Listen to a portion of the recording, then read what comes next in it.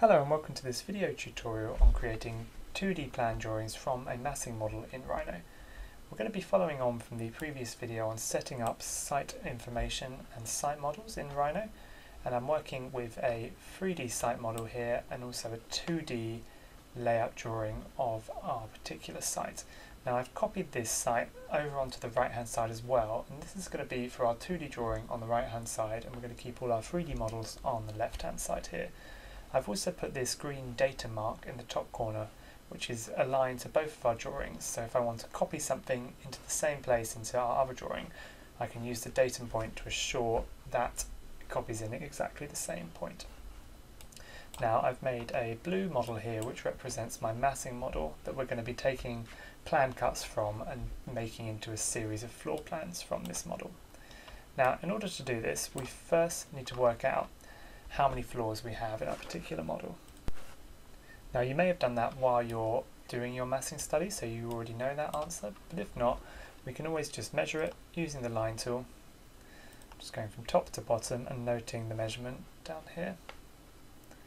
So that's coming in at around 30 meters tall. So what we can do there is we can then divide that to give us our floor heights and a typical sort of floor to floor height in a building might be about 3 meters. So if we use the divide function, just typing in divide and divide it by 10, there, it will split that into our floors there. And what I usually do is I'll take those levels once made, making sure I'm not selecting any additional lines behind it. And I'm just going to move those over here and out of the way for our floor levels there. Um, what I might sometimes do as well, just to make it clear so we can see it from further away, is just copy a line onto these points as well, so it's very obvious exactly where these floor levels are moving forward. So now we've made our levels, what we want to do is we want to take plan cuts at each of these levels to give us our floor plans. To do that we're going to be using clipping planes and I've already set up this layer here within which I've got a level or layer sorry for each of the floor levels on my plan. And what we're going to do is we're going to create a clipping plane in each of these layers which we can turn on and off depending on which plan we want to cut at which point. Now at the moment I've got my floor levels but I actually want my plans to be cut in the midpoint between each floor. So we're going to actually just take these points here and copy them upwards from half this distance to give us a midpoint. So 1520 would be half, enter, there. And now we have our kind of midpoint for each of our clipping planes. Now in order to create our clipping plane, we're going to go to the top view, because this is the view that we want to create our plans in. And just type in clipping plane, and just draw out a square to define this over our model. And you see when you do that, it will immediately take a cut from whatever level it's set at. Now we want to make sure this is set at the correct levels on our floor plans. So I'm going to go back to here and go to the right view and just use this view and just use the move tool to snap this clipping plane onto the first level there. And what I'm going to do once that's in position, we're going to go to the properties, go to the object, and we're going to put it on the correct layer. Floor 0 there. What I'm also going to do to this is I'm actually going to turn this clipping plane off so it's currently not working because what we want is we want to create these clipping planes in position but we want to make sure they're not actually cutting until we tell them to so we can turn on each one at a time and create our floor plans. So from this point I'm just going to copy up these clipping planes on each level and put them on their correct layers as well. So now that's done I've copied my clipping plane up so we've got one on each floor and they're also now all on their own layers so we can kind of turn them on or off depending on when we want to use them.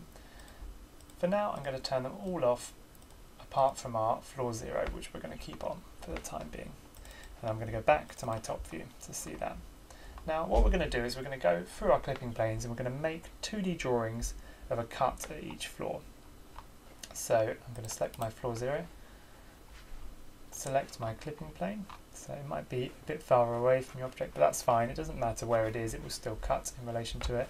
And with it selected, we can go back to the properties and we can turn it on in the top view.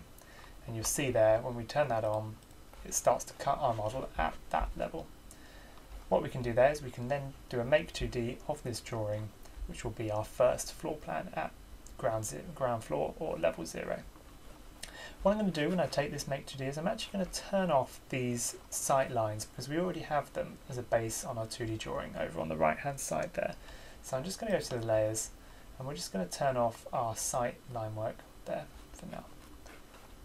What you might want to make sure actually is we do want to keep this guideline in and I'm actually going to move my guideline folder so it's not in that site folder it's in my 2D line work folder instead so when we turn off the site the guideline can stay on and just make sure that it's in the right folder there so with our guideline on our site line turned off and our massing turned on with the clipping plane on as well we can then select all of that geometry and do make 2D from there. Maintaining the source layers just in case you want to kind of keep that moving forward. I will usually keep that on just in case. Do the make 2D. And once that's made, you just move it out the way. There. So that's our first plan. And what I'm then going to do is I'm just going to turn off, go back to the first floor, select the clipping plane first and make sure it's turned off and we're just going to do the same for the next one and I'm basically just going to work my way up these floors turning on the clipping plane each time and doing the make 2D to get the floor plan cut and what this would give us is would give us our base of our 2D plan for each of these floors and once you've set this up hmm, the setup is kind of a long process on this but once you've got it set up it's then very easy to kind of go back work on your model more and then you can go back and take a plan again it's very easy to go back and forth between that process, taking cuts whenever you need to. So I'm going to pause the video and just do a cut for each of these. Now for the purpose of this exercise, I've just done this for my ground floor. We've done it for the fourth floor there, and I've also done it for my ninth floor as well. And what you'll find is once you've done a Make 2D, you get this series of Make 2D lines, and usefully they're split up into curves and also clipping plane lines, you'll see there. So we've got a mixture of lines and the curves and lines which are clipping planes. So what we can do with that is we can use it to separate out our section lines and our elevation lines from our model. Now as I've set up, shown before in previous videos, I've actually already set up a series of line weights here for my site layers and we're actually going to set up two or three new folders in this case, one for the ground floor, fourth floor and ninth floor which we have here and we're going to apply all these layers to each of those floors as well. So to start doing that, we're going to start by just making a new layer. I'm going to call this ground floor.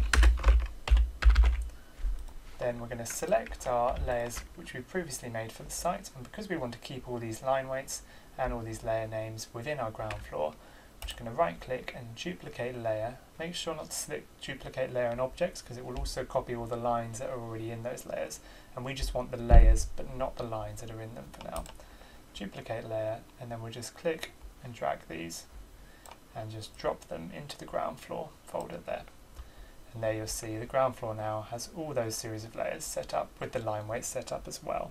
So we don't have to go and reset the line weights for this particular floor. And I'm going to do the same thing for the fourth floor and the ninth floor there as well. So now we have our ground floor with our layers in, we have our fourth floor and our ninth floor all set up and ready to go. So now we've set those up, we can actually start to switch our make 2D layers that we brought in onto their correct layers so they have a set line weight already assigned to them. I'm just going to turn these on so we can see it here. To do that we can just go to the make 2D. Um, we'll start with the sectional one, so if we go curves and 3D model, and you could just select the objects within each of these. So we can select the context first, and because I want to do this via the level and not all at the same time, I'm going to deselect the ones I don't want, so the ones not on the ground floor, and we'll just do the ground floor first. Go to properties, and then we'll just switch the layer over to my ground floor section thick. There, and you can see the colours change, so we know that's switched over as well. And I'm actually going to do the same for my proposed massing as well and we'll just switch that on. It might be that you want to keep a separate layer for the proposed and the context. For this point I'm just going to put them on the same layer so they share the same line weight for now. And I'm going to do the same thing for the rest of my layers here. You'll find as I go up the buildings we'll start to get some in elevation as well so I'll show you that too.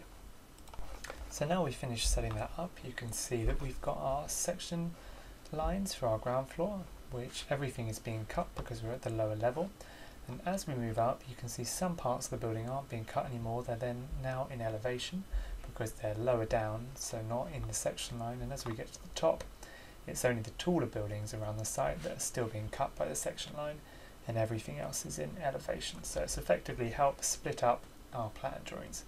And this is potentially the basis for our drawings from this point onwards. What we can do now, if we've set these up, is we can select each of these and I'm going to just deselect this kind of green frame because we don't need that for the time being. But we can move it using the datum point here as a guide and snap it onto our plan there. And I'm just going to do that for each of our plans. Charge complete. adding on to the guide there. So you're effectively stacking them one on top of the other. And because we've set them up all in their same levels, we don't have to worry about them overlapping, so we can kind of turn each of them on at each stage. And now I'll put the site back on, and you'll see they'll probably overlap with one another for now.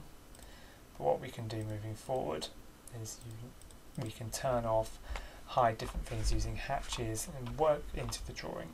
What we've got now is we've got a really good base to start building up our plan drawing from. So we've got our ground floor, where it's cut on our floor level and then we've got the fourth floor and ninth floor moving up. So thank you for watching this video. That was a quick intro on how to set up basic floor plans. What we'll be doing in the next video is looking at how to work into these floor plans and turn them into architectural drawings. Thank you for watching.